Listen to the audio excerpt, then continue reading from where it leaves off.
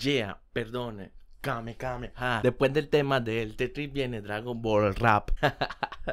Hola, ¿qué tal? Yo soy David del canal Mr. Dedos y hoy tengo que presentar un tema algo interesante que me lo han pedido varias veces. ¿Qué tal sería utilizar una GT 1030 a la hora de jugar Minecraft? Sí, Minecraft. Un juego de cubitos el cual la imaginación es el límite, ya que este juego es prácticamente inmemorable. Un juego que salió aproximadamente el 2009, en el cual se hizo también viral en el 2013. Sí, gracias a los youtubers que han hecho varias series o también videos que se encuentran de forma popular en las redes. Este juego realmente ha querido morir y a la vez no. Este es un juego que hasta en pleno 2020 la gente juega bastante y podemos encontrar servers muy llenos. Incluso en pleno 2020, aunque ya Fortnite ya esté bajando su Minecraft a veces quiere subir, a veces quiere bajar. Todo esto depende de la comunidad, pero es un juego que aún no ha muerto. Y pues como últimamente ustedes han visto que yo he subido unos videos de Fortnite de cuántos FPS puede sacar esta gráfica, también me han preguntado unas que otras personas cuántos FPS puede sacar la gráfica pues 1030 en Minecraft. Voy diciendo desde ahora que pues esta gráfica para Minecraft está más que sobrado. Entonces vamos a utilizar varias modalidades de juego. Entonces lo que voy a realizar es jugar unas que otras modalidades de juego. Voy a grabar la pantalla de forma normal porque la verdad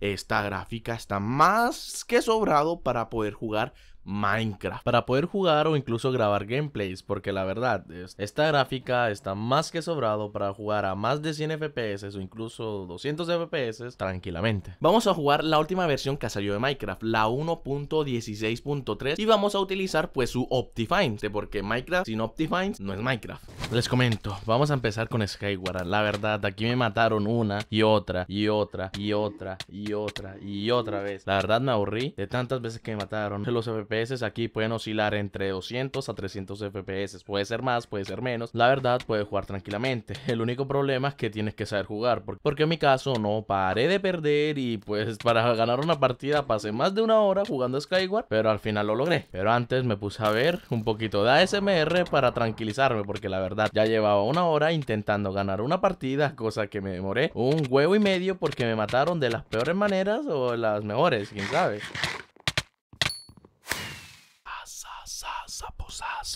Mesa. Mesa. Mesa que más aplauda. Mesa que más aplauda. En Minecraft, en Skyward, sacamos unos FPS totalmente impresionantes. No hay ningún problema para poder jugar nosotros Minecraft a la hora de jugar Skyward. Totalmente impresionante. Una cantidad de FPS alucinante. No necesitamos más. Más o menos un promedio entre 200 a 300 FPS. Wow, qué cantidad tan impresionante. Yo como ustedes no necesito más. Solamente te quiero decir una cosa. Por favor, regálame un fuerte like. Suscríbete, que ayuda bastante al canal, que no estaría nada mal. Y sígueme en mis redes, que tengo un Instagram. Y en Instagram monto historias y también puedes conversar conmigo sin ningún problema. Ya sabes, arroba Dedos y me encontrarás. Y coméntame cualquier cosa, que incluso hasta podemos jugar unas que otras partiditas de Fortnite. Y si es el caso, también Minecraft. Eh, vale.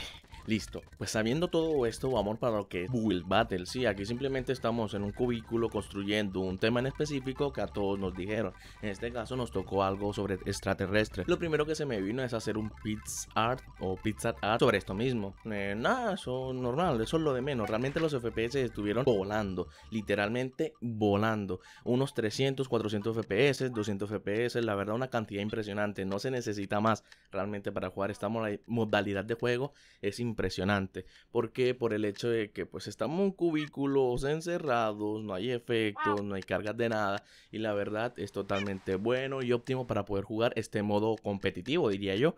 Entonces, la verdad, una GT 1030 para esto estás más que sobrado porque no vas a necesitar nada más.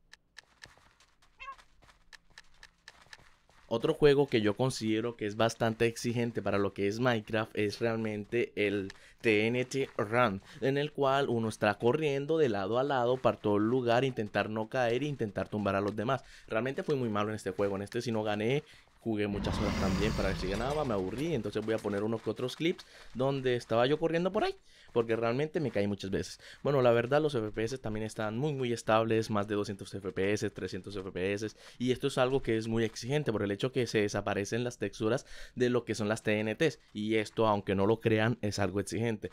Eh, incluso yo conozco gente que tiene una PC caca, por decirlo de una manera, en cual jugaron Minecraft de forma normal y les corría sus 60 FPS, 40 FPS de forma estable. Y a la hora de jugar TNT Run le iba a unos 20 FPS, unos 10 FPS, porque aunque no parezca, este juego o esta modalidad de juego es muy muy exigente.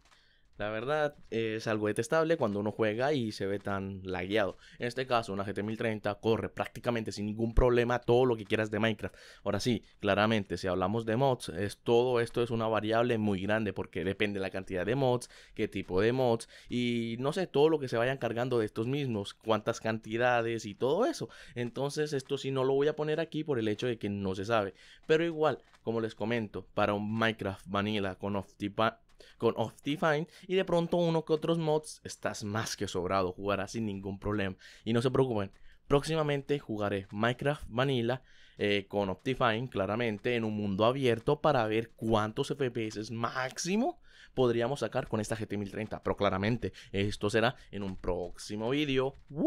Oye, oye, oye, oye, oye. Si a ti te interesa todos estos temas de lo que es la GT 1030 en varios juegos, en varias cosas, la verdad, te recomiendo que te suscribas a mi canal, me regales un fuerte like para darme más apoyo, porque en este canal estamos hablando de tantas cosas de la GT 1030 que te impresionarían. Incluso, estoy seguro que tú tienes alguna duda de esta gráfica y quieres saber algo de ello. En la parte de los comentarios, escríbeme que no habría ningún problema y te contestaré lo antes posible.